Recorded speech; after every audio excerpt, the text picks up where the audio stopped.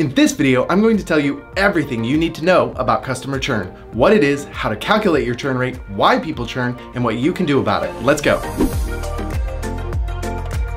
Hey, I'm Daniel, and welcome to Uscreen Health and Fitness, the best place for personal trainers, yoga instructors, brick and mortar studio owners, and more to learn how to grow their business online. Customer churn is a problem for every subscription-based business model. If you're unfamiliar, churn is a term for customers that stop using a service, and it's commonly tied to subscription and membership platforms. A churned customer is someone that has canceled their subscription and exited your service. So if someone cancels their service with you on the 5th of the month, but their subscription expires on the 25th of the month, then the 25th 25th is their churn date. It's totally possible and really pretty common that someone would cancel this month, but churn the next month or even in a year if that's when their billing cycle ends. However, let's make an important distinction here. There's no such thing as a churned trial. We often get asked about churn trials, but that's not the best terminology. So let's just add a bit of clarification off the bat. When a person starts a trial and doesn't convert into a paying subscriber, they technically didn't churn. They just didn't convert to your service. Churn is something that happens later in the life cycle of a paying customer. So with trials, we should always talk about conversion rates, not churn. And churn should be a term reserved specifically for paying subscribers. So whenever you hear us or anyone talk about churn, we're talking about paying subscribers and not trials. We'll talk more about trials and conversions in future videos. So if you're not subscribed to this channel, go ahead and do that right now so you don't miss out on those super helpful videos. Calculating your churn is actually pretty straightforward. You take the total number of customers you lose each month and divide that by the total number of customers that you started the month with, and then multiply it by 100. For example, if you have 100 subscribers to start the month and you lose five throughout the month, your churn rate would be 5%. Churn does not include the customers you gain over the same period of time. There are some tangible reasons that customers churn, including bad onboarding, poor or no ongoing customer support, bad customer service, competition, and product problems. Surprisingly though, the most common reason for churn is price, but it's not as simple as it sounds. Because even when people tell you they're leaving because of price, it often has little to do with the actual price and more to do with the customer's value system, even more so than your product. No.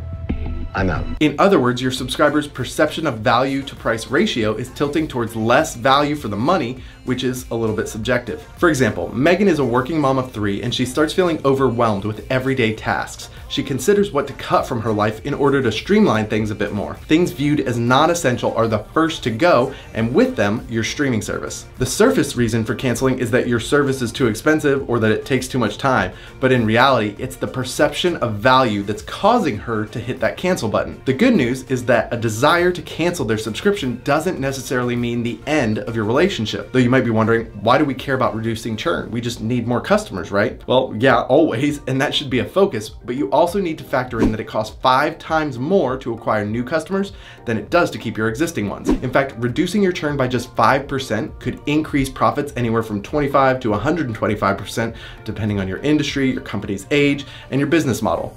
So what can you do?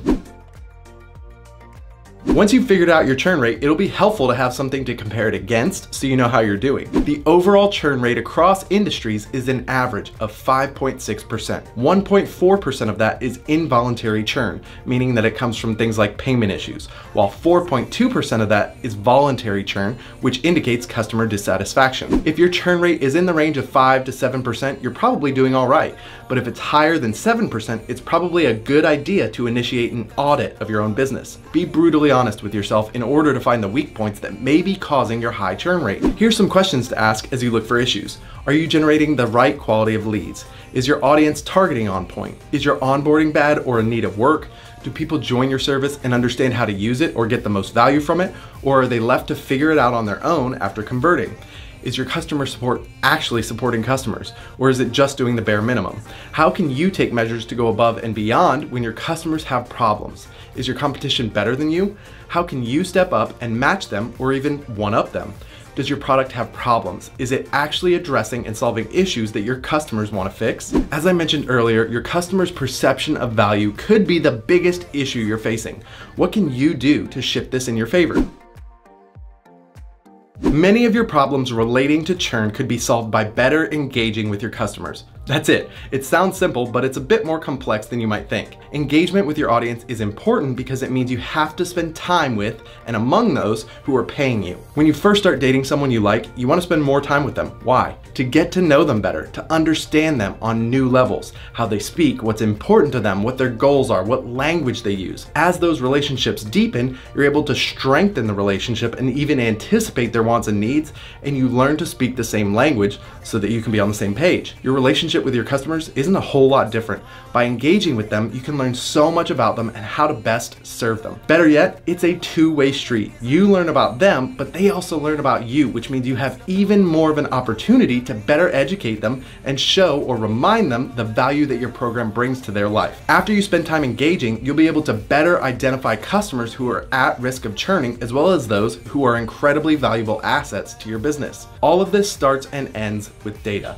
I know that's a mechanical way of viewing a relationship, but it can make a massive difference in your business. If you don't record the reasons people churn from your streaming platform, you need to be. Create and implement a survey. Ask them what they didn't like about your service and see if you can find out what types of changes would win them back. Better yet, you can do this before they actually churn by surveying your existing customers. There are a number of tools out there to help you reduce churn in your business. Unfortunately, that often involves multiple pieces of software and additional subscriptions. But I've got great news for those of you with your own video streaming platform. With Uscreen, we actually have a tool built into the platform to help you reduce churn in your business, and it's available to every single one of our customers. When you use our platform and a customer goes to cancel, our reduced churn tool shows them a survey asking why they're canceling. Once they complete that survey, they're offered a discount on their next billing cycle if they don't cancel. Some of these customers will continue with their cancellation, but a number of those people will decide to stick around, effectively helping to reduce your churn rate. This tool is amazing because it not only helps reduce reduce churn in your business, but it also collects valuable information via the survey. This feedback from your customers can be pivotal in helping you improve your business and give people more of what they want, which also helps reduce churn. If you're interested, you can learn more about Uscreen at the link in the description. Be sure to watch the video over there for your next best step when it comes to your online fitness business. If you got some value out of this video, do me a favor and hit that subscribe button below so we can stay connected. Thanks so much for watching. I'll see you next time.